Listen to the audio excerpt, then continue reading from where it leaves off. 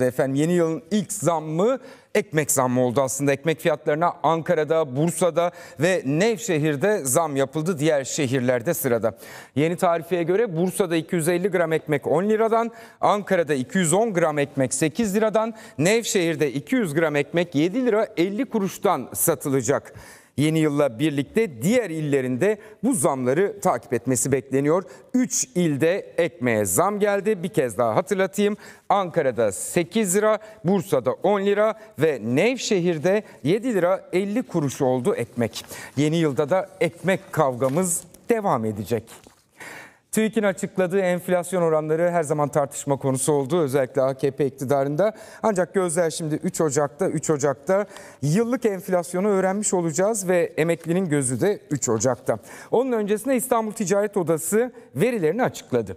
Aralık ayı enflasyonunu %3,52 ve yıllık enflasyonu da %74,88 olarak açıkladı İTO. Bu şu anlama geliyor. Geçen yıl Şubat ayından bu yana en yüksek yıllık artış kaydedildi.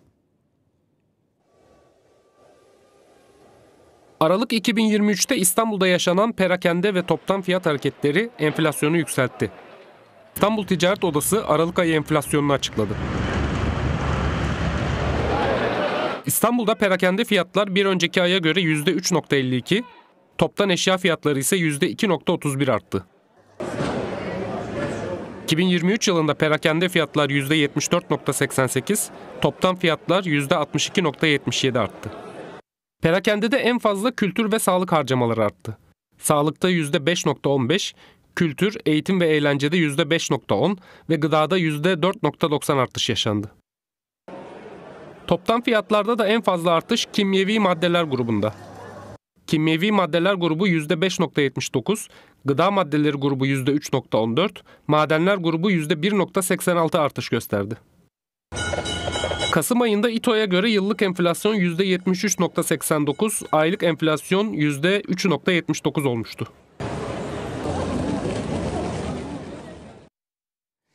Nasıl geçti? Yeni yıl e, nasıl karşılandı evlerde? Yılbaşı akşamınız nasıl geçti? Hadi yazın gönderin onları da bana. Halk TV başında, Halk TV'de Görkemli Hatıralar Yılbaşı özel programını izleyerek yeni yıla girenlerin sayısı bir hayli fazla. Birazdan bahsedeceğiz efendim. 15 Aralık'ta başlayarak kaydedilen Yılbaşı özel eğlence programında sık sık Türkiye'nin yaşadığı sorunlara da parmak basıldı Halk TV ekranlarında. Aslında zannediyorlar ki vur patlasın, çal oynasın, göbekler atılsın, kimse dertlenmesin böyle giriyor bir kısım insan yeni yıla. Öyle değil işte. Bir arada olabilmek, geride kalan yılı konuşmak, yeni yıldan beklentileri ve umutları kutlamak bu bir kültür.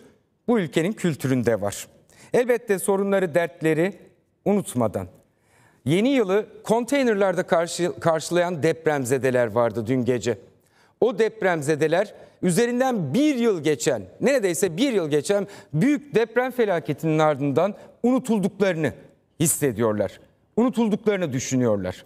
O depremzedeleri de unutmadık elbette. Şimdi sizi deprem bölgesine Hatay'a götüreceğim. Kahramanmaraşlılar e, eğlence mekanlarına değil mezarlıklara gittiler. Kaybettikleri yakınlarını andılar. Onları da göstereceğim ama yurt genelinde 2024'ü işte e, denize girerek karşılayan da vardı.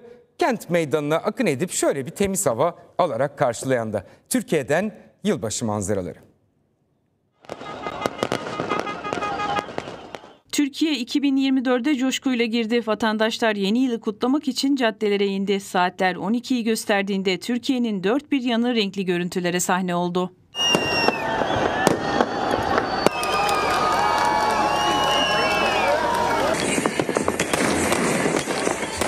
İstanbul'da binlerce kişi yeni yıla kentin önemli meydan ve caddelerinde düzenlenen kutlamalarla girdi. 15 Temmuz Şehitler Köprüsü, İstanbul Boğazı ve Haliç havai fişeklerin ışığıyla aydınlandı. Drone çekilen görüntülerde havai fişeklerin boğaz köprülerini ve tarihi yapıları nasıl süslediği görüldü. Ankara'da 2024'e girmeye saatler kala vatandaşlar şehrin en işlek noktalarında toplandı. Kızılay Meydanı ve Tunalı Hilmi Caddesi'nde kurulan sahnelerde sanatçılar canlı performanslarını sergiledi. Kış turizminin önemli merkezlerinden Palandöken'i tercih eden tatilciler, hava sıcaklığının sıfırın altında 10 dereceye kadar düştüğü soğukta gökyüzünü aydınlatan havai fişek eşliğinde meşaleli kayak gösterilerini izleyerek yeni yıla girdi. Yeni yıl İzmir'de de coşkuyla kutlandı. Kemer altında kutlanacak olan yılbaşı eğlencesi şehit haberleri sonrası iptal edilince İzmirliler yeni yılda Alsancak semtinde toplandı. Eskişehir'de trafiğe kapalı olan İsmet İnönü Caddesi'nde toplanan yaklaşık 5000 kişi yeni yıla meşale yakıp halay çekerek girdi. Antalya'da ise kendilerini yaz kış denize girenler grubu olarak tanımlayan bir grup vatandaş yeni yıla denizde girme geleneğini bozmadı. Ve deprem bölgesi 50 bin kişinin hayatını kaybettiği 6 Şubat depremlerinde evsiz kalan binlerce kişi yeni yıla konteynerlarda girdi. Kahramanmaraş'ta vatandaşlar yılın son gününde eğlence mekanlarında değil, kaybettikleri yakınlarının mezarlarına gitti. Depremlerin yerle bir ettiği Hatay'da ise yeni yıla girerken bu kez sessizlik vardı. Her yıl kutlamaların yapıldığı Cumhuriyet Meydanı boş kaldı.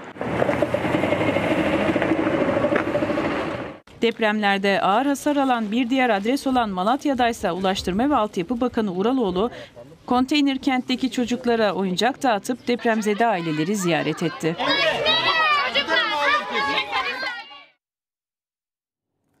Sonra bir de bunu gururla paylaştı.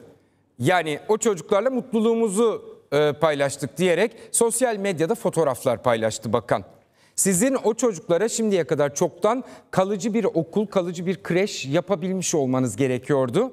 O çocuklarla paylaştığınız şey olsa olsa içinde bulunduğunuz ruh halidir Sayın Bakan. O çocuklar hala konteynerde, kreşlerdeyse işte orada bir sorun var demektir. Yanılıyor muyum bilmem. Deprem bölgesinde durum böyle. Bu arada Japonya'da 7.4 büyüklüğünde bir deprem meydana geldi. Hemen ardından tsunami alarmı verildi. Japonya'dan notları ekrana getiririz. Yeni yılın ilk gününde çok fena sallandı e, ada ülkesi Japonya. Ama şu dakikaya kadar neyse ki can kaybı haberi gelmedi Japonya'dan. Dünyayı bir gezelim dolaşalım sonra Körfez ülkelerine Katar'a, Suudi Arabistan'a özel olarak götüreceğim sizi. Türkiye'de yılbaşı gecesinde tebliğciler boy gösterdiler. Yeni yıl kutlamak bizde yoktur diye. Ama Suudi Arabistan'da ve Katar'da aynı fikirde değillerdi. Havai fişeklerle görkemli kutlamalar yaptılar. Körfez ülkelerine ayrı bir parantez açacağız ama şimdi hızlıca bir dünyayı dolaşalım.